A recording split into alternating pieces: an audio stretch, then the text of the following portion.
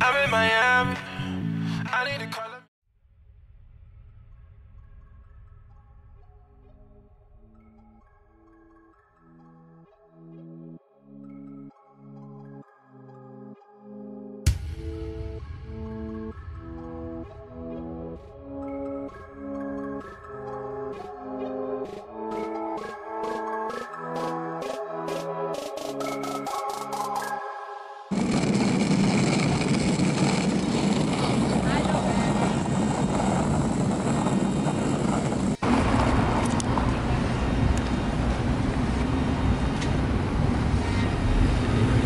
So what do we have going on over here?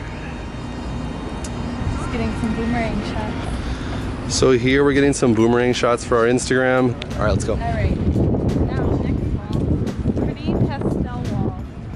Like blues and pinks. Pretty. Yeah, this is a nice wall. There's all kinds of weird shit going on in Wynwood today. Kind of like every other day, but yeah.